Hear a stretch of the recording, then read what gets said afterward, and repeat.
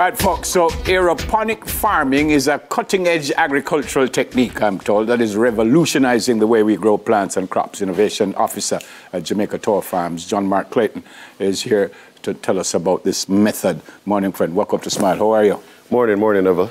Cutting edge and new is the same thing, or it is not new, it's just cutting edge? Um, cutting edge, not new. It has been it's a, it's been around for a while. Been around no. in Jamaica? No, um, in Jamaica for a while, uh-huh. right? Um, the collaboration with Agrotonomy and Jamaica Tower Farms is what gave it the additional traction, um, separate and apart from who uh, the players in the market Which already. is why we're talking about it now. Yes. So it's not new. No, it's not new. Um, and it's widespread, or it's, just very few people know what to I, do. I think it's I think it's widespread, right? In that space, there's it's still we still need to bring a certain level of awareness to it. For example, as I say, this collaboration that went viral, having um, Keon and your team calling me. Yeah, it's the first I hear about aeroponic. Yes. Um, and that in itself means what? No water, no what? what no, aeroponic is um, vertical farming, of course. So you farm up, um, allowing you to have a higher density of um, produce per square meter, right, versus um, horizontally. But you still need what you would do for a regular farming. You need to water the stuff, or you need to. Well, um, water is water is there. Ninety percent water is used. Um, there is no soil. Um, the roots are suspended, which gives you um, faster produce. Stop! Stop! Stop! Stop! Yes. What do you mean by the roots are so suspended? The, root, the roots are suspended, allowing it to be oxygenated and taking in the nutrients at a higher level than if it was in the ground. So well, I know. So if the roots are suspended, where the water come in? The water come in. The water coming from um, the reservoir, and it trickles and mist down to the roots. Okay. So I can show you an example. Please don't turn your back. Okay. Yeah, can, you, you know, show us, but just we just want to make sure everybody can see what you're doing. So basically, this is the root. That's the root right there. Yes, and the rooting system. So it's It's wet right now. Yes. So what you do now? So this would be full of water, or the water just run on it? So the reservoir, the reservoir which is down which here. Which is down here. Yes. The, the, has, the basin like. Yeah. Exactly. Has water in there. Yeah. Right, and it is connected to a pump, and the pump is intermittent. It's on three minutes and off for 12 minutes. Right. It runs up through the um, piping system here. Yeah. And then it mists down to the um, roots on the crops. Does that suggest when you talk about the water that is not all products can be used because you know some of them don't need plenty water, some need plenty, plenty water, some need little water. So all, all products that can be farmed in the vertical farm can be used. And those products would be? Um, well, what kind of product can be farmed like that? Um, well, of course, root crops root crops such as um, tubers and tubers, okay, etc., okay, okay. like that, because that needs to be ingrown, basically, right? So anything from plants, peppers, right, um, broccolis, etc., can be grown on it. What's the so benefit of this as opposed to the regular? I don't know if regular is the word, but the way the traditional, traditional uh, method of yeah, farming. Traditional method regular, of farming, yeah. right? So um, the benefit of this versus the traditional method is the fact that one, you can have a higher density in the urban area. So basically, this farm is in my backyard. So this don't have to be down in the country with a hundred acre yeah, land, yeah. etc. Right? Um, I'm able to farm on a hundred towers right now as it stands three acres of leafy green. A hundred towers, and this is what you call a tower? Yes. Do they get taller than this, or this is the... They get taller than this. So you have anywhere between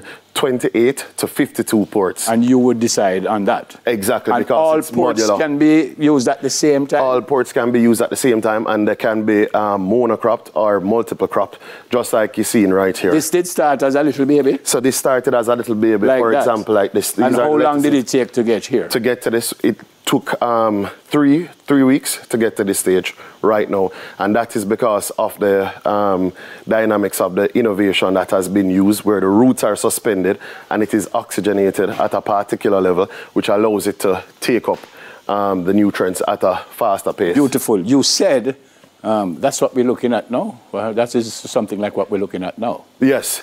You said 90% water. I asked you already about the benefits of using this when we have drought.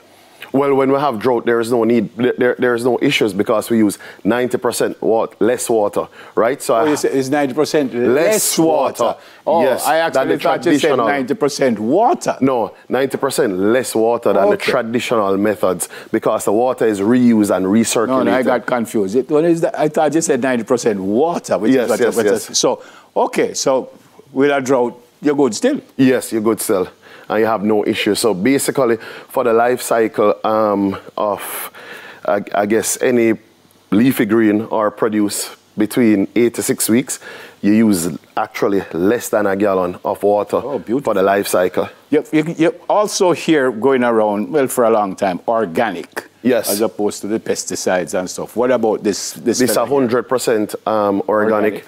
Of course, you know, you still have aphids, whiteflies, pests yeah, can but but, you don't use pesticides. No, so the, the, risk is less. So how you get rid of those things that... Well, you use um, natural methods, for example, while it's being germinated here, I spray them with um, orange peel water with distilled, soaked in distilled water, orange peel soaked in distilled water, okay. and spray them with that. Where before. did you get the expertise?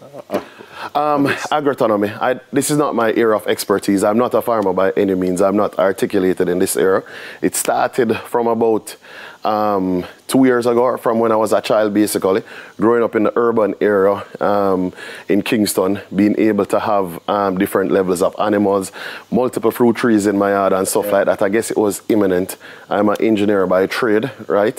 Which kind of help with this. Exactly. Right.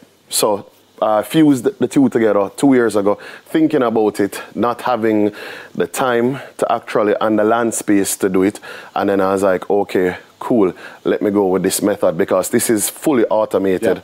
Yeah. A, a, farmer or a potential farmer, a young farmer watching and say, no man, I'm only that. Me rather just dig two hole, drop in my little thing, and it won't grow just like this. And your response would be? My response would be in the lo- um, in the long run, well, and in the short run too as well. You have a, it is very labor intensive to plant in the ground, and I'm not by any means bashing the original method. Um, it is not. You don't have to be far away because it's urban. It can be on your rooftop. It can be in your yard. It can be somewhere closer versus um, that the machinery and there's no expertise, little to no expertise. Where you can get this and give me an idea of what it would cost, that same young farmer who watching this morning. Okay, cool. Well, for example, this is from um, Tower Farms Limited, right, in the US, Agrotonomy, which um, there, there's a partnership there. So we can't get it locally? No, not lo- you can get it locally now, but the minimum order is 10 right now at the moment. 10 what? 10 towers. 10, this is one or? Yes, this is one, 10 so, towers. So one, which, two, three, four, five? No, 10 10 towers, 10 of this. What is a tower? A tower is this that the you're looking thing. at. Yes. Yeah, I thought you meant one of these. Things. No, these are the these are the model. The, okay. These are modular. All right. Yes. So you need at least 10. Yes, okay. minimum order. All right. And about how much that? Um, well, you're looking at anywhere between seven to eight thousand USD. Mm. But for 10. Yes. So okay, yes, you're looking at the long the long term effects of it, yeah. right, Neville? For example, I only have one person here with me today, which is um, Kevin, aka Ras, who manages the entire farm, a three-acre produce farm by himself. You understand what I'm saying? Yeah. Versus having tractors, having plowers, having additional laborers. So in the long run, it works out, but exactly. you still need a little upfront change to exactly the, the, the, because of the yeah. technology yeah. um, involved in the whole process, of course. And I'm impressed. I'm impressed, and we'll explain, sir.